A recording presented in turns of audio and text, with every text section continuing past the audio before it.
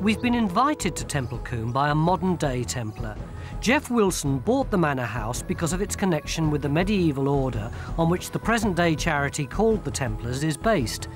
He knows the Knights Templar owns the manor here in the 12th and 13th centuries, but he wants to find out how much of his home dates back to those original fighting monks. The house has a 17th century appearance, but appearances can be deceptive. So we've brought along Beric Morley, our historic buildings expert. I'm told this is the remains of a spiral staircase. Oh, I've heard about this. Oh, that's right. Well, look, it curves round at the back. Yeah. Beric starting with a grand tour of Jeff's home, which we've invaded for the weekend. The house has been repeatedly modernised since the 1600s. Beric's job is to discover if there's anything Templar hidden inside or below the present building. Oh, this is a nice room, isn't it? Well, this this big room, but I think it's been made into one room. It was several rooms. If we- Yes. There's the front door over there. Oh, yes. Yes, And along the floor, underneath here, there's some flagstones. These are yeah? much Yep. more worn up this and out that end. But uh, where the door comes, there's a row of narrow ones, as though there was a wall up in between. And it turns a right angle here and comes over to Oh, does block it? the stairs on. Gosh, well, perhaps... Beric's already noted that Jeff's house has been built back to front. Its more imposing face points eastwards. He's also intrigued by its unusual L shape. Could this red roofed long range here be medieval in origin?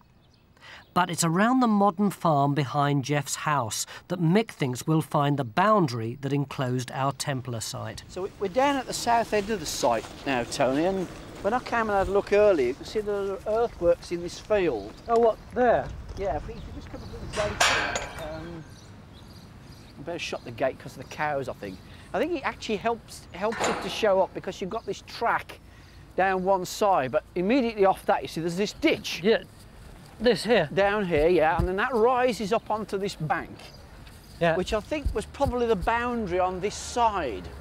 So you know, you come down the ditch, up a bank, and then you're inside the. so all the- this is inside the Yeah. precinct? And of course, it's drop. The land's dropping away over there, so that's probably the boundary on that side. Just by Yeah. that little fence? Yeah, more or less beyond there. And if, Yeah. I, if I actually sort of sketch it out on um, a bit of paper here, you see what we've got is is um, the road runs across like that. Yeah. Um, the house is sort of like that with the bit at the back. Here's the farmer's house. We've got a trench going in there because it looks as if there's a ditch coming across in that direction. And then we're over here with a bank and ditch coming over there. And then it sort of drops away.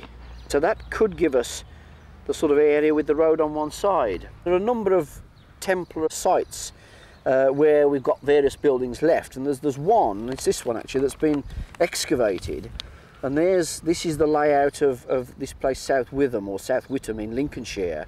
This was dug some years ago, and there's the gatehouse you see, and you see it's a, it's basically a rectangular area, and it's full of buildings. Uh, And is that roughly the same size as this? It's going to be roughly the same sort of thing. And it might mean, you see, that in this field here, there are all sorts of barns and other buildings that, uh, you know, go with it. And we shan't know that until we've done the sort of geophysics across the area. It does look quite lumpy and bumpy here.